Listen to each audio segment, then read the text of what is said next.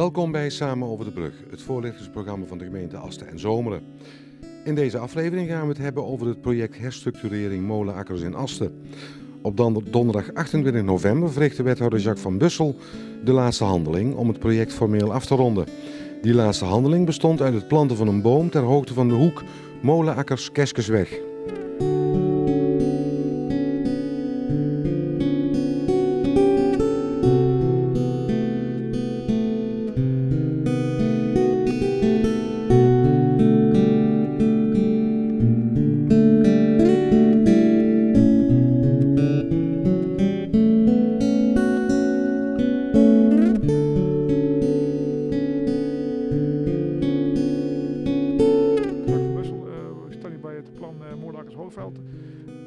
Deel van het plan is klaar. Wat is er allemaal gebeurd hier? Hier is eigenlijk alles gebeurd. Dus uh, het wegdek helemaal vernieuwd, uh, geasfalteerd. Uh, riolering is vrijwel volledig aangepast. bomen die een hoop overlast gaven, hebben we weg laten halen. En daar zijn nu nieuwe voor geplant. Want het was hier verouderd?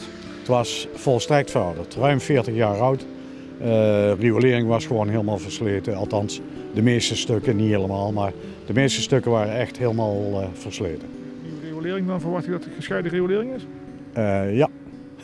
ja. ja, dat klopt. De vraag was vanuit de ondernemers, denk ik, dat hier anders moest gaan worden. Ja, nou, niet alleen ondernemers, ook wij zelf vonden dat het hoog tijd werd om hier dingen te gaan doen. Het verloederde, langzamer zeker. En we hebben een aantal jaren geleden een beleidsplan uh, bedrijventerreinen opgesteld. En daar zat als een van de actiepunten in het oppimpen, om het zo maar eens te noemen, van molakers. En daarnaast het oppimpen van het uh, stuk Hoogveld. Ja, allemaal op de kosten van de gemeente of dragen de ondernemers zelf bij?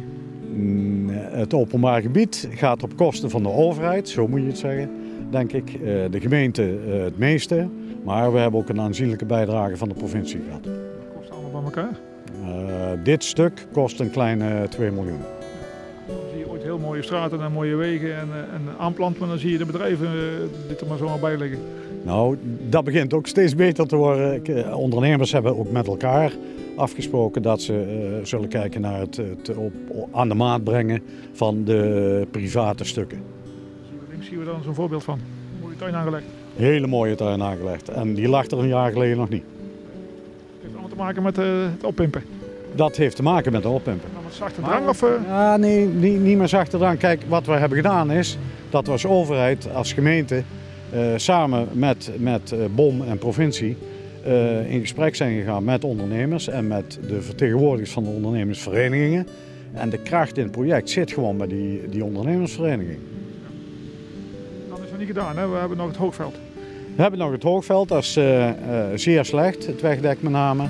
Riolering uh, is daar uh, niet het grootste probleem, maar met name het wegdek. En dan moet iets gebeuren. Ook in de parkeervoorziening willen we nog kijken of we dat kunnen verbeteren. Dat gebeurt allemaal dit jaar nog? Dat gebeurt voor 1 juni.